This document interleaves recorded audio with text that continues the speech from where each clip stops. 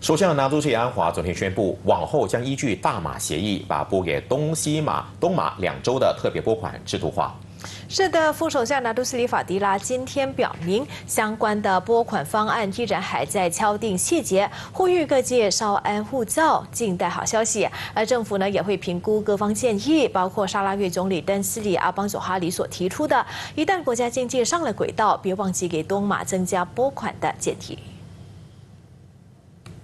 Kajam Persekutuan dah bersetuju memberi Sarawak 300 juta tiap tahun, Sabah 260 juta. Kita akan lepas ini muktamadkan formulanya dan diharapkan dengan formula itu kita akan ada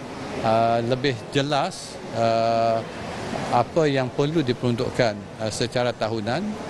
dan di Sarawak Premier mengatakan bahawa formulanya ialah kalau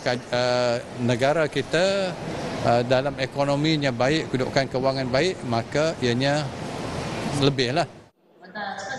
法蒂拉今天在沙拉越古建出席新年活动后说，阿邦佐哈里和其他东马领袖将在近期针对中央拨款的细节开会商讨，以便拟定更全面和透明的方案。